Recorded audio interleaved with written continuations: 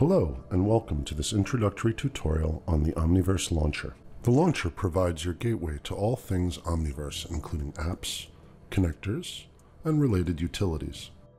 As you can see here, the launcher provides a handsome interface for launching apps, managing versions, exploring new tools, and even provides a Nucleus collaboration server perfect for smaller workgroups to collaborate.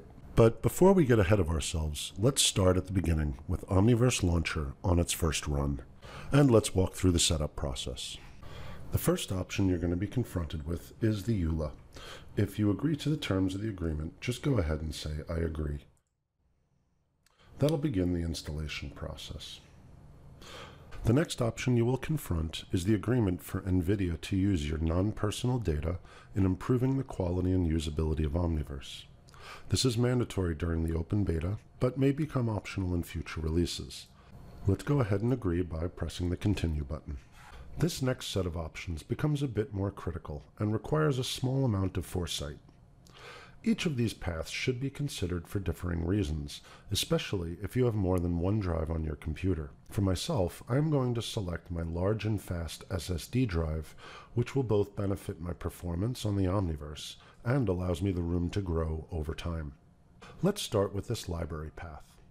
This path allows you to select where the Omniverse launcher will install your apps, connectors, and other Omniverse tools. This location benefits from a fast drive, but does not require a large footprint.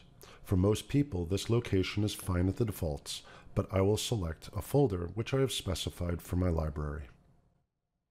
Next, we have the data path. If you decide to host a collaboration server, this is where your Nucleus collaboration server will store user content for all connected users. Though a fast drive will help here, users should choose a drive with ample space as this will grow over time. Even with small workgroups, the data footprint here can grow to terabytes in size depending on usage. Okay, last we have the cache path. This path is where all cached files will be stored. This path especially benefits from speed, though again, a larger drive can be beneficial as cache grows fairly significantly when working with an Omniverse nucleus. If you are unsure where to choose, or you only have one drive, you can feel safe in using the default paths. Once installed, we can go ahead and change these paths at any time. Once comfortable with your selections, go ahead and select Continue to continue. We are well on our way, and Launcher has been successfully installed. Unfortunately, and as we can see, we have nothing populating our launcher. Let's go ahead and fix that by visiting the Exchange tab. Here we can review apps, connectors, and tools to decide what we want to install. Let's begin our library with some of the more utility-oriented tools, as virtually all users will want to have them when working on the Omniverse. Let's select Omniverse Drive, and then let's select the Install option on the top right of the interface. Excellent. Omniverse Drive is now installing. Next, let's select Omniverse Cache and follow the same procedure. As you can see, installing with Omniverse Launcher is as easy as point and click. Now, take your time to review other Omniverse apps and install whichever you choose. I'll go ahead and install all the apps in the Exchange, so you can feel free to pause and install at your leisure.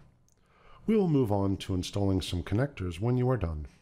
Okay, assuming you have installed the apps of your choosing, let's take a look at connectors. First, select the Connectors tab in the Exchange. This will list all available connectors. However, you must have the host application installed for it to function as expected. I happen to have Autodesk Maya and UE4 installed on this computer. I would like them to be able to interconnect with Omniverse, so I will select and install these connectors in the same way we did with apps. Go ahead and peruse this list for host applications you want to connect, and install the provided connectors. Once installed, they will be able to interact with the Omniverse via these connectors. Okay, now that we have our apps and connectors installed, let's hop over to the Collaboration tab. Here, we will install our Nucleus collaboration services. This will turn our computer into a Nucleus collaboration server and allow other users to connect to and collaborate on your computer. This collaboration server is also useful for single user workflows where connecting several apps and connectors to the same project is wanted. Anyhow, let's go ahead and install the Nucleus Collaboration Services now. Simply click to install. Upon installation, we will be confronted with a choice for the data path. As this path was carefully selected during install, we can continue without change. Great! Now, let's go ahead and create our administration account for our newly installed server. To do this, simply fill in the details. This is the admin account, so please be sure to remember the username and password you choose. They will be needed when you want to connect to your server from either apps or connectors. Okay, once filled in, select Continue to complete the process. Excellent. We are almost ready to conclude this video, but first, let's go ahead and jump back to the Library tab.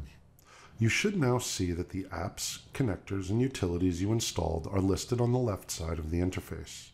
Selecting them will display all pertinent information and links to documentation as well as provide the ability to launch, update, and uninstall the app. You may have noticed the messages showing up in the top right corner, which alerts you to required actions, updates, and other pertinent information. Just to the right of that, we have the User Settings tab, which allows you to change your path options we discussed during install. Okay, that sums up the launcher and should get you headed in the right direction with the Omniverse. Go ahead and fire up those freshly installed apps and get started. Don't forget to check out the documentation portals linked from each app. There is a wealth of information there to help you continue your journey into the Omniverse. Thank you so very much for watching. Have a great day.